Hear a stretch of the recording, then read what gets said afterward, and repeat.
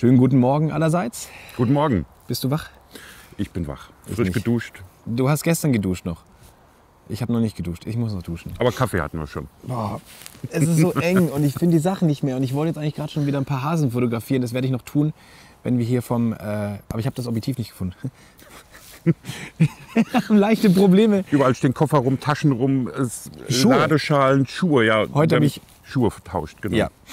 Aber es ist auch, wir haben die gleichen Schuhe und nur so ein bisschen Größenunterschied und ich wusste nicht mehr welche. Ah, egal. Heute geht's zur Benroe Power Station. Es geht nämlich in dieser Folge um das grüne Neuseeland. Das heißt also Green Energy, ähm, wie nennt sich das? Re, re, re, renewable? Nee, nee, nee, re, re, renewable. Er nickt. Heißt es renewable? Erneuerbare Energie. Erneuerbare Energien. Das ist das Erneuerbare Energiengesetz. Das kenne ich noch. Ähm, es geht darum, wir haben Genehmigung an dieser Power Station zu fotografieren. Und, und eine Drohnengenehmigung bekommen. wir sollen wegbleiben von den Strommasten. Aber ich glaube, sie wussten nicht, dass Strommasten und Drohnen sich mit dem Kompass nicht so ganz Vielleicht haben wir magnetisch Spaß und heute Abend eine Drohne weniger. Wir werden sehen. Wir haben auch leider noch das Problem, dass wir heute Abend dann einmal ein Stück springen müssen. Wie viele Kilometer? ähm, ich glaube, 500 Kilometer ist heute irgendwie der Rhythmus, was wir fahren müssen. Und ähm, Das klingt so es äh, leicht. könnte ein längerer Abend werden. Eine Nacht, ne? Aber das Nacht, klingt ja. hier in Neuseeland, ist es so, Deutschland ist man das gewohnt, vielleicht kurz zu fahren, aber Ich glaube, man kann es mal zwei nehmen von der Fahrzeit gegenüber in Deutschland. vor allem mit dem Wohnmobil noch, ne? Ja. Ähm, dann werden wir natürlich wieder Fototricks haben. Wir werden tolle Fotos machen. Ich gleich von hoffentlich. Kanin Wo sind die ganzen Kaninchen? Die machen, ich glaube, die sind alle Frühstücken. Wie wir aufgestanden sind und na, Fliege einen Vorhang beiseite gezogen haben, waren hier irgendwie 20, 30 Stück. Und Ja. jetzt äh, Weg. sind sie weg. Ich werde schon eins finden. Alles klar. Lasst uns loslegen, oder? Erstmal duschen, Kaffee und dann aber richtig zack, zack, weg, ne? Los geht's.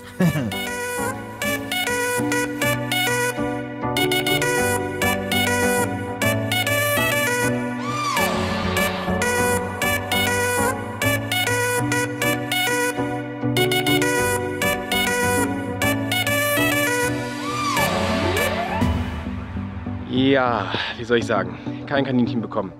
Ich habe jetzt hier ähm, 20 Minuten damit verbracht, ähm, Sachen, Kaninchen hinterher zu rennen, die im Endeffekt dann jetzt wahrscheinlich schlafen. Aber so ist es in der Fotografie. Alle anderen, die warten schon genervt im Camper und wollen losfahren. Aber ja, warum wollte ich hier überhaupt Kaninchen fotografieren? Hat einen einfachen Grund und zwar, ähm, die gehören hier dazu. Also ich weiß, es gibt Kaninchen auch in Deutschland und so besonders ist es nicht, wie ein Löwe oder eine Giraffe in Afrika. Aber wenn man so eine Reise dokumentieren möchte, dann muss man die Dinge fotografieren, mit denen man sich verknüpft. Und wir haben gestern bestimmt 100 Kaninchen beinahe auf, der, auf dem Highway überfahren, weil die einfach in solchen Massen hier auftreten. Unfassbar. Aber gestern sind wir fast draufgetreten. So viele sind hier auf dem Campingplatz gewesen. Jetzt schlafen die wahrscheinlich alle und wir müssen los. Wir müssen weiter. Verdammt, Kacke.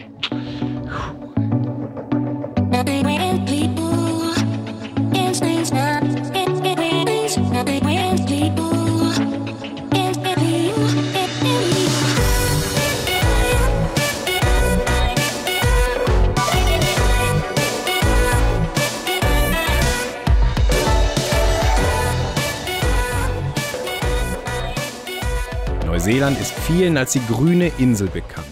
Das liegt nicht nur an der vielen Natur und den großen unberührten Landstrichen. Neuseeland hat in Sachen erneuerbare Energien im weltweiten Vergleich zusammen mit Norwegen und Island deutlich die Nase vorn. Rund 80 Prozent des Stroms werden aus erneuerbaren Energien gewonnen, vor allem aus Wasserkraft, Geowärme und Windenergie. Anders als Deutschland kann Neuseeland eben nicht einfach Strom aus irgendeinem Nachbarland beziehen und fing deswegen schon sehr früh an, sich unabhängig zu machen. Ungefähr zur gleichen Zeit wie Deutschland fing man hier schon vor 100 Jahren an, Wasserkraftwerke zu bauen. Die Kiwis haben den Ausbau der erneuerbaren Energien allerdings ein wenig konsequenter betrieben als die alemannischen Brüder. Gerade die Ölkrise in den 70er Jahren führte dazu, dass die Regierung extrem in die grüne Energie investierte, um sich noch unabhängiger von anderen Ländern zu machen. Bemerkenswert dabei, der gesamte Green Energy Sektor ist überhaupt nicht staatlich subventioniert. Es ist zwar keine gesetzliche Vorgabe, aber der Kiwi-Anspruch, dass die Energieerzeuger hier von Anfang an wirtschaftlich arbeiten. Da beide Hauptinseln Neuseelands durch das Nord-Süd-Kabel verbunden sind, gibt es auch nur einen nationalen Strommarkt, in den eingespeist wird. Das schafft Wettbewerb und deutlich günstigere Preise als zum Beispiel in Deutschland. Unser Weg zum Benmore Dam ist nicht besonders lang. Wir halten trotzdem die Augen auf, um auch auf dem Weg nichts zu verpassen. Schließlich ist ja auch der Weg das Ziel.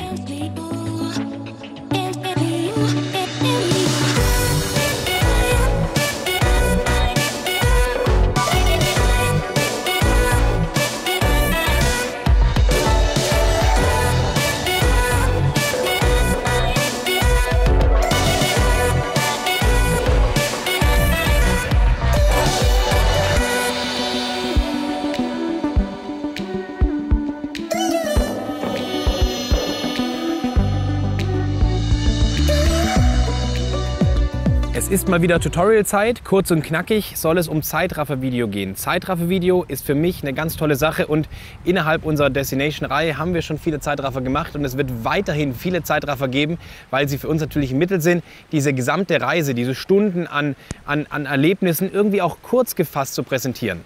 Zeitraffer haben aber eine andere super tolle Sache. Und zwar wären das im Grunde genommen diese Verbindung zwischen einzelnem Standbild und Bewegtbild. Es ist ja eigentlich ein und dasselbe Motiv. Zum Beispiel bewegt sich dort die Wolken dann oder irgendwas, ein kleines Männchen, ein kleines Auto fährt durch. Man hat also eigentlich dieses Visuelle von einem Foto, aber mit interaktiver, mit dynamischer Bewegung im Bild. Jetzt haben viele sicherlich schon Erfahrungen gemacht mit Zeitraffer, beispielsweise mit der GoPro, die jetzt hier oben auch auf diesem Konstrukt hier thront. Ähm, und da verliert man ganz oftmals schnell die Lust am Zeitraffer. Warum? Das erklärt sich, wenn wir einfach mal uns die beiden, diesen Vergleichszeitraffer hier am See angucken. Einmal haben wir einen total fusseligen, wisseligen, wummeligen, also das ist einfach nicht schön anzugucken. Hier hat man einfach ganz viele einzelne Bilder hintereinander genommen und hat einfach diese einzelnen Bilder zu einem Video gemacht. Und das ist hässlich. Warum? Weil diese cinematische Bewegung fehlt. Wenn wir uns dabei den anderen Zeitraffer der 7500er angucken, dann ist das natürlich eine andere Art von Dynamik und Farben. Ja, ganz klar, weil die Kamera ist einfach gar keine GoPro. Aber was wir genauso sehen ist, dass eben diese Bewegung viel ästhetischer ist. Das hat den Grund, dass wir hier erkennen, dass hier kleine Langzeitbelichtungen verwendet wurden. Gucken wir uns mal die Standbilder an, Standbilder aus beiden, dann erkennen wir, dass beim GoPro-Zeitraffer ein scharfes Einzelbild genommen wurde, während beim äh, Zeitraffer mit der 7500er ein Mini-Langzeitbelichtungsbild genommen wurde. Und das ist eigentlich schon der richtig große Kniff, gerade wenn sich viel bewegt wie Bäume, wie irgendwie ähm, ganz viele kleine texturierte Sachen, dann sollte man Mini-Langzeitbelichtungen für den Zeitraffer verwenden. Wir haben einen Graufilter vorne drauf, 1020, schön weitwinklig, um das gleiche Bild ungefähr zu bekommen, was die GoPro macht. Aber es ist einfach ein riesengroßer Unterschied. Es ist genauso einfach, man geht bei der 7500er beispielsweise ins Menü, sagt Video, Zeitraffer, sagt dann die Intervalle an, das heißt also, wie viel Zeit soll zwischen jeder einzelnen Aufnahme liegen. Je höher dieser Intervall ist, umso mehr Zeit fasse ich in kürzeres Video zusammen ähm, und dann kann ich auf Start drücken und er macht dann im Endeffekt ein fertiges Video, sobald ich auf die OK-Taste drücke und damit den Zeitraffer beende. Nochmals, es hängt damit zusammen, dass beim Film eine dynamische, cinematische Bewegung der Einzelbilder enthalten ist. Und wenn man einen richtig schönen cinematischen Zeitraffer machen möchte, der ästhetisch wirkt, dann darf man nicht nur scharfe Einzelbilder hintereinander hängen, sondern muss man auch in gewisser Weise diese Bewegung selbst leicht dynamisch halten. Das ist der große Kniff und damit würde ich sagen, viel Spaß bei unseren weiteren Destination-Zeitraffern, die aber über die nächsten Folgen verteilt dann sicherlich kommen.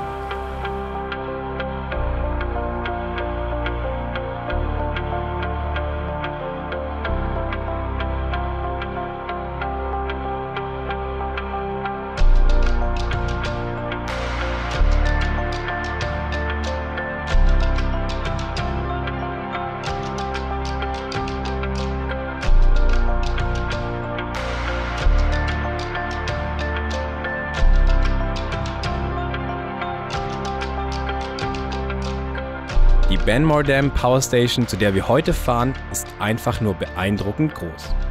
Zahlen können das kaum ausdrücken. Trotzdem, der Damm ist 823 Meter breit und 100 Meter hoch. Und ganz oben hat der Damm eine Tiefe von über 10 Metern. 6000 Kubikmeter Wasser pro Sekunde können hier durch die sechs riesigen Röhren gejagt werden und die Turbinen antreiben. Das sind 6 Millionen Liter oder 60.000 Badewannen voll Wasser, um das mal in ein Verhältnis zu setzen. Also da kommt man sich schon erstaunlich klein vor. Umso genialer, dass wir hier eine Drohnengenehmigung erhalten haben. Wie sich dieses architektonische Bollwerk in die Landschaft einfügt, sieht von oben noch einmal viel beeindruckender aus.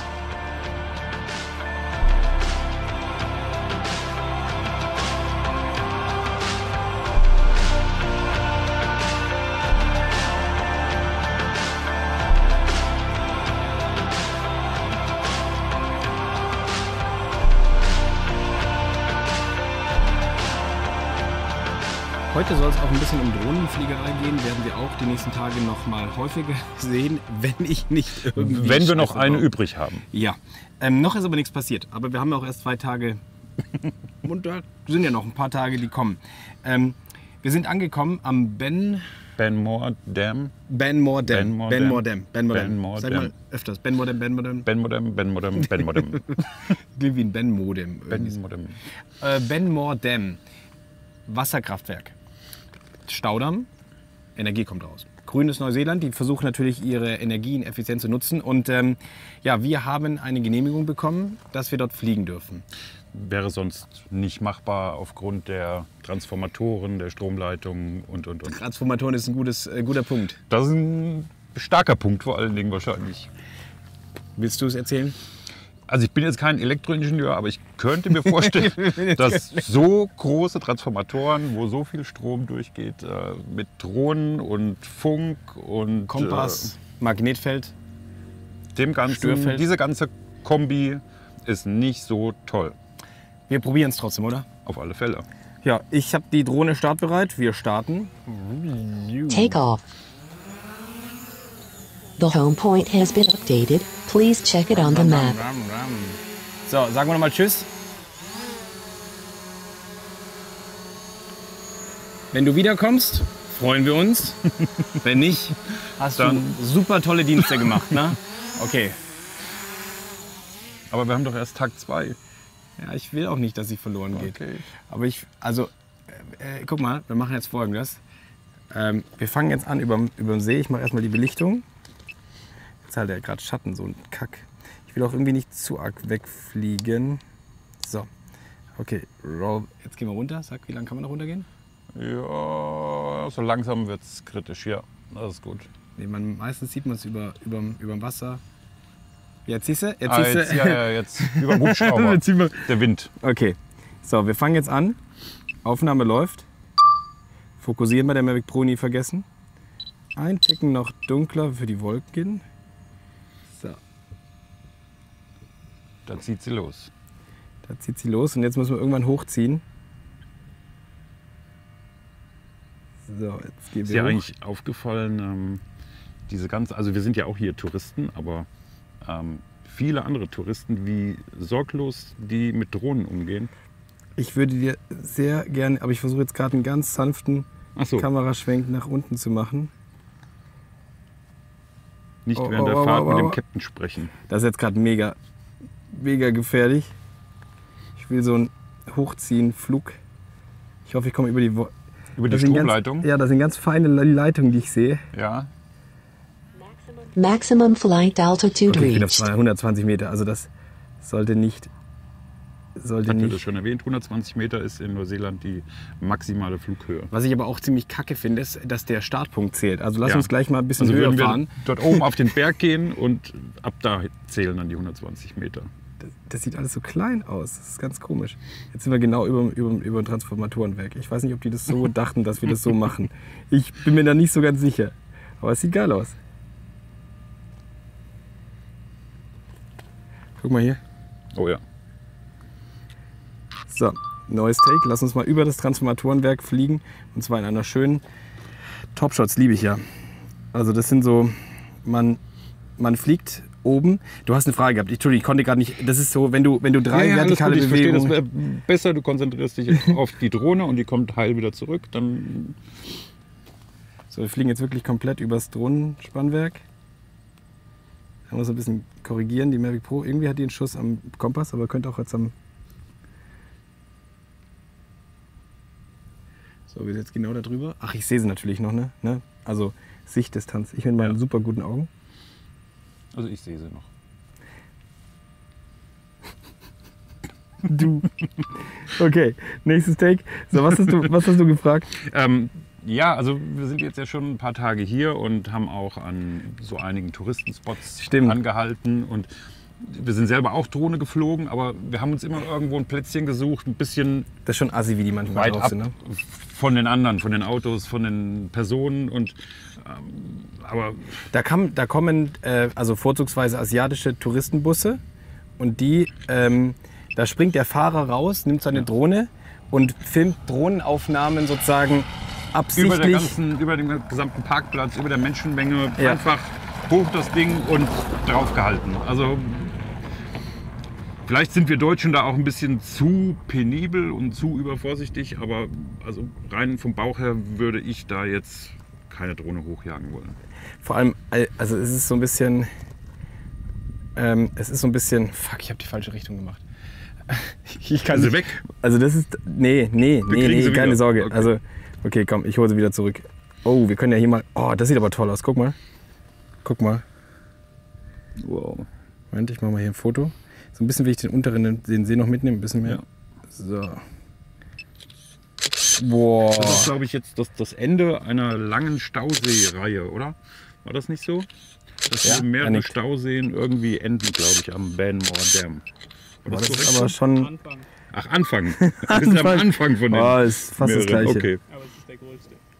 Okay, ich, ich, ich mache jetzt. Also ich bin ja beim Drohnenfliegen so ein, so ein ganz, ganz, ganz simpler. Simpel. Fuck. Ähm, ich habe die Steuerung verpasst. Ähm, ne, ich, ähm, ich, ähm, ich versuche immer schwierige Dinge, aber simple Sachen zu machen. Also jetzt zum Beispiel versuche ich gerade mal einen Abstieg zu machen, wenn er das, wo er das Bild hält. Und ich versuche das meistens ähm, komplett selber zu machen. Das heißt also, ich gehe jetzt runter Ja. und dann muss ich die Kamera auf dem Ziel halten mit dem Höhencontroller der Kamera. Und das ist halt so Millimeterarbeit. Und dann entsteht so dieser Para Parallaxe-Effekt. Der hier, da ist er Ja, ich sehe es. gefunden. Oh, oh, die, die Stromleitung. Fuck, ich bin zu weit. Ich wusste nicht, wo ich da bin. Wir fliegen vielleicht noch ein paar Meter nach vorne, oder? Ja. Nicht ganz so dicht. Ja, ich mache lieber wieder Fotos, ne? Das ist einfacher. Ja. Ähm, ja, gut, lass uns, mal, lass uns mal höher fliegen. Vielleicht kann man auf dieser, auf dieser, auf dieser Suchen wir uns nochmal einen anderen Spot. Ja, und dann wollten wir noch mal oben drauf fahren. Ne? Also es ist auf jeden Fall verrückt, was hier abgeht mit Drohnen. Ähm, da hast du völlig recht. Es ist so, es ist eine Mischung aus, also gerade gerade Leute mit asiatischem Hintergrund sieht man hier vermehrt. Habe ich es jetzt politisch korrekt so ausgedrückt? Ja, also ja, ist wahrscheinlich hier so wie das Mallorca in Deutschland. Und mir vorstellen. die nehmen Drohnen wirklich, boah, also einer hat die mitten im, mitten im Campingplatz starten lassen. Ja. Und ich meine, das muss man natürlich auch sagen, diese Summe ist ja auch unangenehm. Also Ja, die Leute fühlen sich belästigt, das ist gefährlich. ähm, Also einfach ein bisschen das Hirn anschalten und Abstand einfach zu Personen, Menschenmengen. So, probier mal. Probier mal, den wieder auf die, auf die Wasseroberfläche zu setzen. Moment. Ich hasse dieses. Das geht viel zu früh los. Wie weit kann man noch runter? Was meinst du? Also ich fände es schön, wenn sie wieder hierher kommt. Ja, oh, ich sollte auch filmen. So, jetzt probieren Okay, wollen wir dann mal weiterziehen? wir. Ja, ich, ich, ich versuche so unseren Camper. Okay.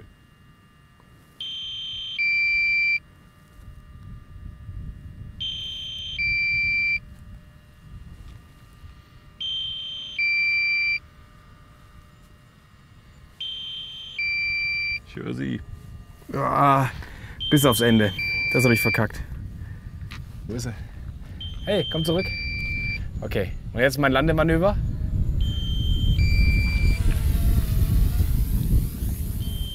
Ah, das geht normalerweise schöner. Ja, Okay, das war jetzt nicht. ah, Normalerweise, Moment, wir machen das nochmal. Guck mal, das noch mal. Guck mal, normalerweise mache ich das folgendermaßen. Zeig Die- mal, was du kannst. Nee, halt, halt, halt. Die Kamera muss das filmen. Du musst mal ganz kurz auf unendlich fokussieren. Oder Tilo, kannst du ihn mal kurz auf unendlich fokussieren? Moment, wir- wir können. Okay, okay, okay, okay, okay, okay, okay, okay, okay, okay, okay, komm. Alles klar. So, also die, die Drohne kommt hier geflogen. Und das ist im Endeffekt so, dass sie auf einen zurast. Und dann. Oh, wie so ein Kampfhelikopter im An Anflug. Okay, es war wieder nicht schön. Landing. Egal.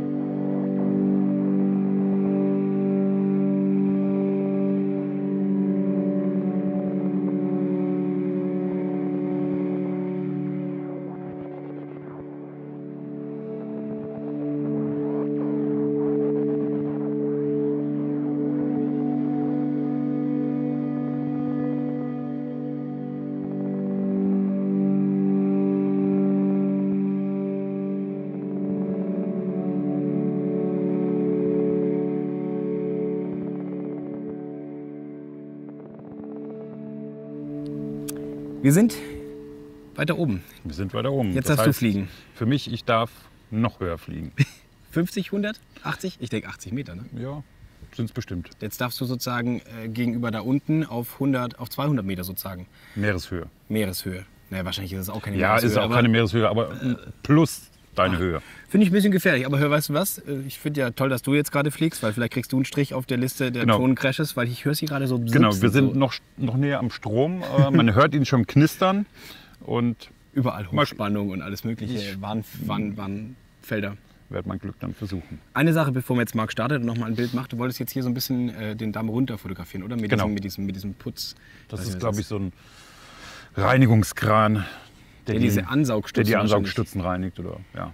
Okay, ähm, ich wollte noch mal kurz was sagen. Und zwar, vielleicht hat das letzte oder jetzt gerade das Take da unten, was wir vor ein paar Sekunden aufgenommen haben, ähm, so gewirkt, als ob ich jetzt hier über die bösen Drohnenpiloten in Neuseeland rede und selber irgendwie total Harakiri an Stromleitungen hin, hinfliege.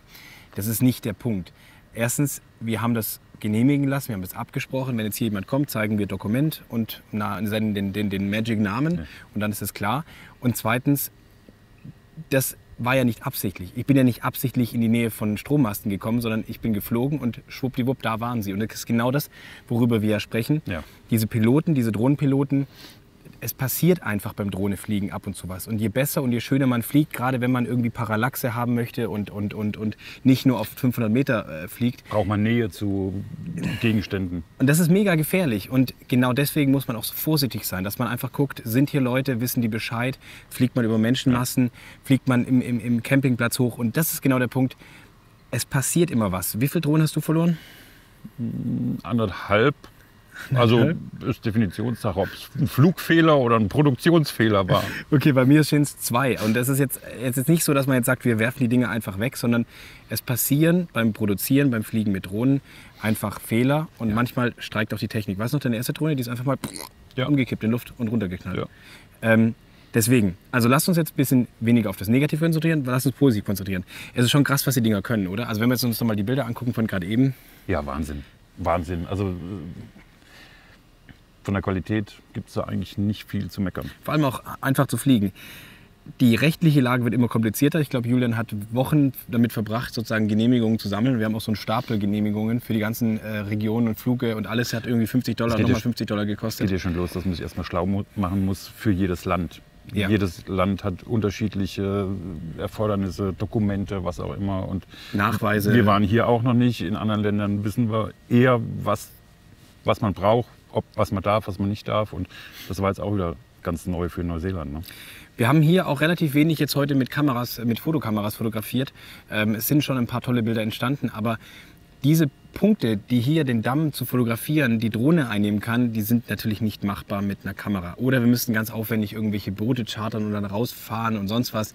Also im Grunde genommen ermöglicht uns dieses kleine Flugteil Aufnahmen, die wir halt einfach von unserer Position, der Fotografierposition, nicht einnehmen können. Es wäre natürlich geiler, so eine D850 Drohne zu haben, oder?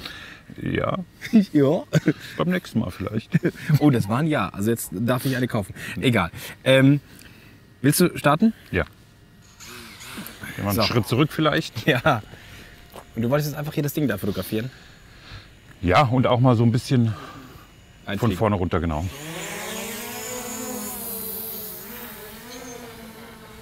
So. Ich sehe jetzt gerade gar nichts, weil ich guck mal rein bei dir.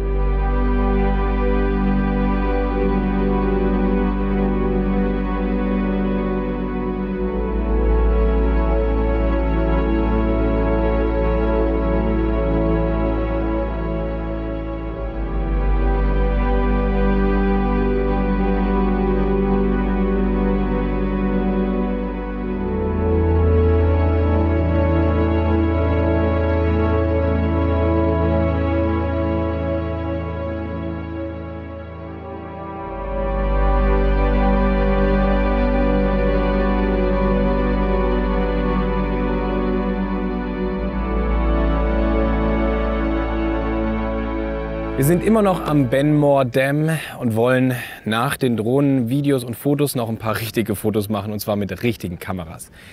Ich möchte an der Stelle einen kleinen Fototipp anbringen und zwar ist es vielleicht was subjektiver, persönlicheres, aber nichtsdestotrotz ganz schön spannend. Ich bin ja ein Symmetriefreak. Also ich bin so ein Typ, wenn ich irgendwo in den Raum reinkomme und ich gehe irgendwie an den Essenstisch und da liegt eine Gabel, die ist schräg, dann mache ich die Gabel korrekt, selbst wenn sie beim Nachbar liegt.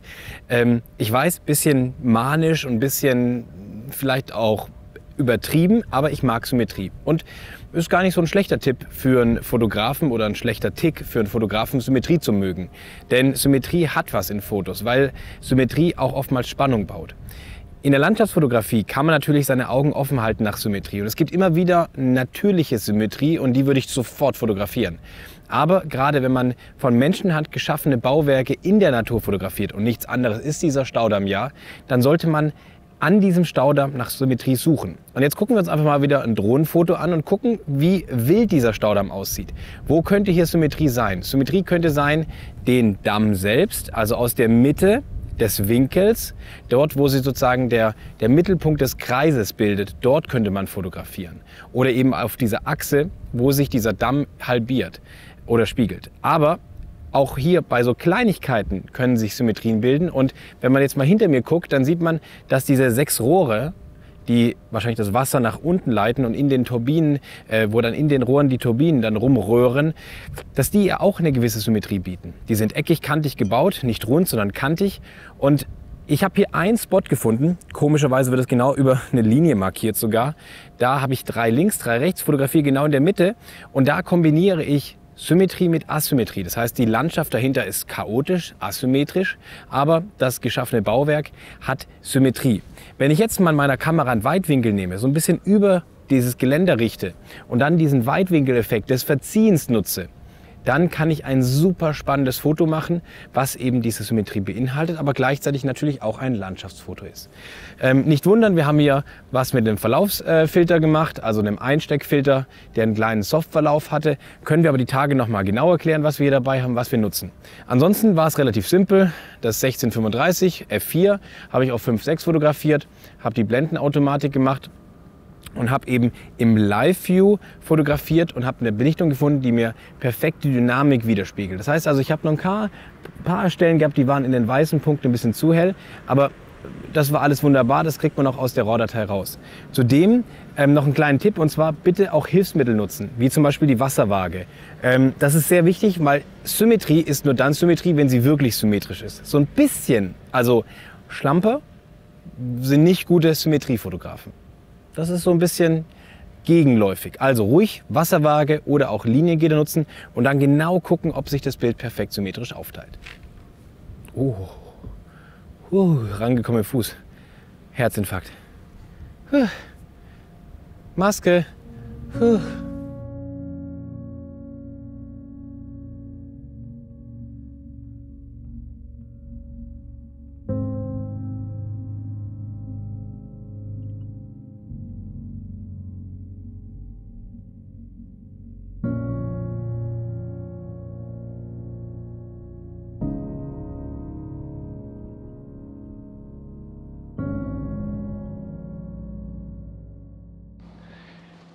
Hallöchen ist wieder später geworden als eigentlich gedacht. Wie Ähm, immer.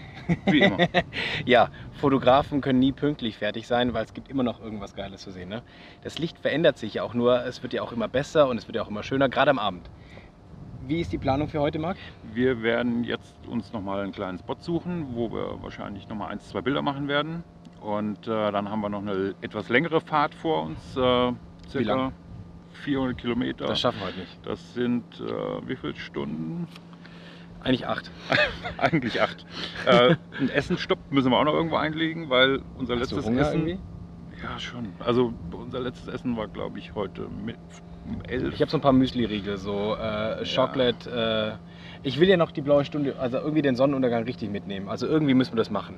Ähm, also Essen, Sonnenuntergang mitnehmen und dann 400 Kilometer. tanken Und schlafen? Äh, danach.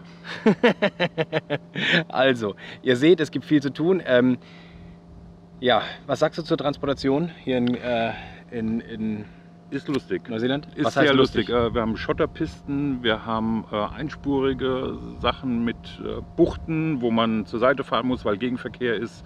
Sehr, sehr schmale Brücken, Mhm. wo einer links rausguckt, der andere guckt rechts raus und es sind beipasst. irgendwie fünf Zentimeter noch Platz mit unserem breiten Trümmer, mit dem wir unterwegs sind. Aber das kriegen wir schon alles hin. Aber das kriegen wir alles hin. Gut, also, es ist noch nicht der Tag aller Ende. Also, nee, halt, wie heißt es? Es ist noch nicht der. Tilo, wie Äh, heißt es? Aller Tage Ende. Es ist noch nicht aller Tage Ende. Alle Tage Abend. Oder? Aller Tage Ende, doch. Doch, Tilo weiß Tage das. Anfang sagen. Alle- Nein, okay, also, Tag ist noch nicht vorbei. Für uns geht es noch weiter, aber das war ein kleines Zwischenfazit. Äh, Wir müssen von Ben. Oh, ich, dieser Name. Wie heißt der? Ben Mordam. Benmore Dam. Müssen wir jetzt aufbrechen und zwar Richtung Süden. In den Urwald. Urwald. Oh Gott, das klingt schon fürchterlich. Oh Gott, oh Gott.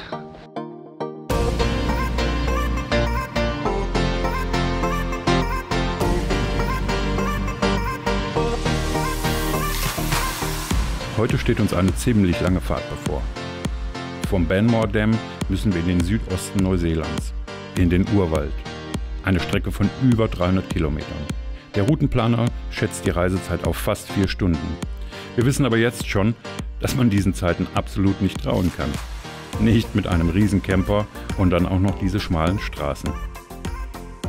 Irgendetwas essen wäre natürlich auch ganz nett. Ach so, einen tollen Spot für den Sonnenuntergang finden wollen wir ja auch noch. Das hat erstmal oberste Priorität.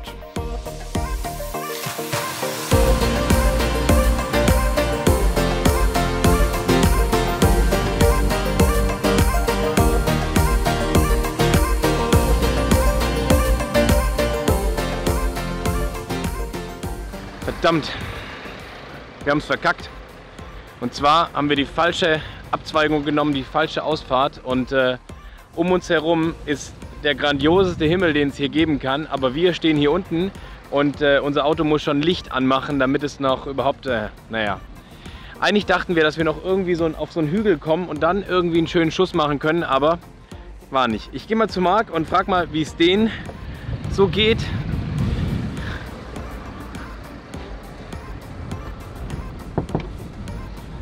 So, unter uns Pastorentöchterchen. So, wie geht's Hast dir du schon dabei? gestanden, ja? Ja, ich habe schon gestanden. Ich ärgere mich so tierisch. Der, der Himmel sieht so Bombe aus. Ja. Und die deutschen Anfängertouristen, live und in Farbe waren wir heute dann. Ja, haben es verkackt. Ja. Aber dafür haben wir ordentlich Sonnenbrand gesammelt. Ganz kurz. Ein bisschen Farbe, aber ja, Alter, das ist morgen ist das braun. Das ist Blödsinn. Das ist morgen Das braun. ist Blödsinn. Tilo, wie Ja. geht's bei dir? Du siehst auch ordentlich rot aus. Also ein bisschen unterschätzt habe ich es auch. Ist, ja, ja, ist halt so, ne? Und dabei haben wir schon Lichtschutzfaktor 50 plus. 50 plus war das? Ja. ja. Aber die Sonne heute war auch extrem äh, intensiv. Ja, aber Martin hat keinen Sonnenbrand. so, also Leute, es tut uns leid. Guckt mal da hoch. So gehen geile Wolken unter. Ich könnte mich echt ärgern. Vielleicht machen wir jetzt einfach so ein Wolkenfoto, einfach nur so ungefähr. Ja, sag mal Winke, Winke. Wir fahren so weiter, oder? Ciao, ciao. Wir fahren jetzt äh, durch die Nacht. Und dann machen wir noch einen Tagesabschluss, oder? Dann machen wir noch einen Tagesabschluss.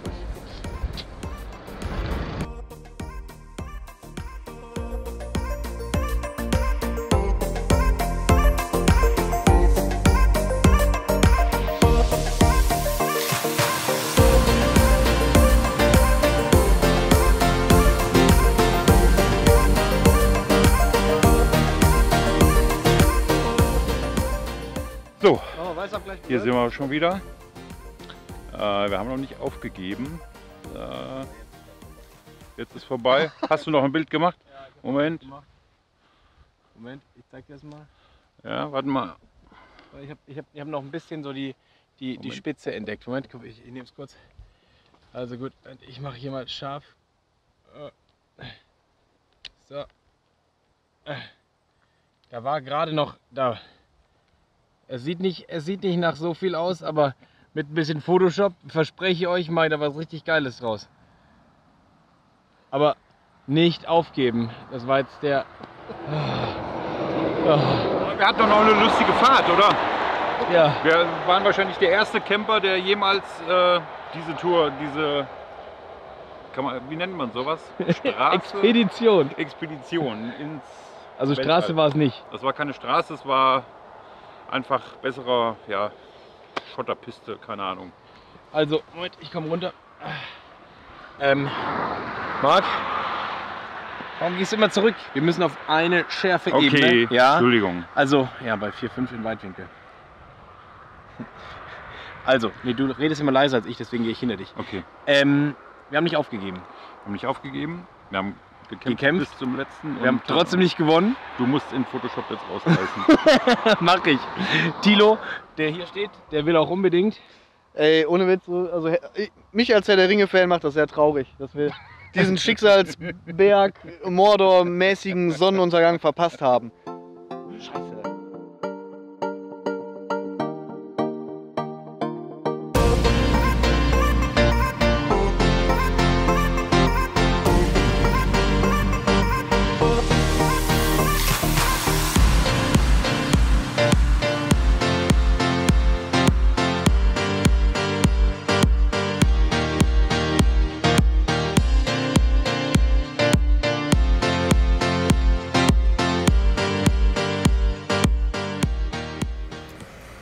Es war ein spannender Tag mit ähm, ziemlich vielen Erlebnissen. Äh, Wir haben auch selber gerade schon überlegt, ob wir das Ganze jetzt als äh, lauter Versagen mit ein paar Zufallstreffern oder mit einem gewohnt natürlichen äh, Professionellem. Landschaftsfotografie Roadtrip äh, kundtun sollen. Wir sind ja. Ja. nicht so einig geworden, ne? Nein, aber die Ergebnisse sind gut und ich glaube, das ist das Einzige, was zählt.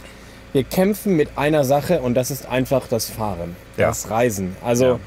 Ähm, Wir, wir haben ja so Sachen schon öfters gemacht und äh, haben im Vorfeld auch einkalkuliert, immer ein bisschen länger zu brauchen, aber ähm, trotzdem brauchen wir noch länger. der Worst, Worst Case Szenario war damals der Frankreich Roadtrip, wo wir über Ja. 6000 Kilometer in 10 Tagen ge gefahren sind.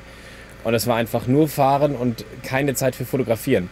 Jetzt haben wir schon runtergeschraubt auf 150 so. ja, aber jetzt hat's nicht. Jetzt müssen wir heute Nacht 400 Kilometer, das heißt 8 Stunden fahren, damit wir morgen an dem richtigen Spot sind, um dort Wasserfälle und Urwald, und zu, Urwald zu fotografieren. fotografieren. Wir sind auch kurz davor zu sagen, wir lassen einfach mal einen Tag lang ausfallen mit Serie oder mit, mit Folge. Ja. Um Um- irgendwie das Farbpensum so ein bisschen runterschrauben zu können und einfach ein bisschen mehr Zeit zu haben. Und vielleicht auch einfach mal ausschlafen zu können, weil Ja. also, Ja. ich meine, wir, wir dürfen nicht vergessen, wir haben jetzt noch, also wir haben jetzt einen dritten Tag und puh, der Akku leert sich Ja, sehr aber schnell. dafür haben wir uns langsam so ein bisschen gefunden und alles optimiert. Also es, wir werden effizienter. Und die Bilder fangen auch an, richtig gut zu werden. Ja. Muss ich sagen, also da haben wir heute die beiden, also das, das Dammbild hat mir Da mega waren gut gefallen. richtige, richtige Knaller dabei, ja. diese Langzeitbelichtung, die wir noch äh, neben dem Zeitraffer gemacht haben, die hat auch, also die fand Ja. ich jetzt auch äh, grandios. Ich finde das einfach schön mit Tele irgendwie. Ja. Ich, ich weiß nicht, aber irgendwie kristallisiert sich bei immer mehr so, so Tele, Tele. raus. ja. Finde Ja. schöner, ne? Ja. Ah gut, wir werden Aber sehen. mal gucken, was noch passiert die Tage. Ähm, also wie gesagt, wir haben jetzt gerade gegessen, der Camper läuft, wir werden jetzt auch gleich reinhüpfen, weil wir müssen noch, jetzt ist äh, gerade, boah, es ist halb elf, wir müssen noch 300 Kilometer, das heißt sechs Stunden und wir werden wahrscheinlich gegen 4 Uhr, 5 Uhr morgens ankommen und theoretisch können wir vielleicht sogar gleich den Den Sonnenaufgang nehmen wir einen. Sonnenaufgang mit und dann hauen wir uns zwei Stunden aufs Ohr oder schauen einfach mal. Das ist echt, echt, echt schwierig bei der Landschaftsfotografie. Dieses vor dem eigentlichen Sonnenaufgang aufstehen. Die besten Zeiten liegen sehr weit auseinander. Das ist, das ist ein gutes Endwort. Ja. Wir sehen uns in der nächsten Folge hier aus Neuseeland, Destination New Zealand. Ähm, boah, wenn ich überlege, weißt du noch, was wir vor drei Tagen gemacht haben? Ich kann es schon gar nicht mehr so richtig. Ja, es ist am, Es verschwindet. wenn wir im Flieger sitzen, dann wissen wir gar nicht mehr, welches Bild war wo, an welchem Tag und an, das wird immer durcheinander. Abschalten. Vielleicht plant auch mal so eine Reise. Sicherlich, hoffentlich. Komm, wir gehen rein.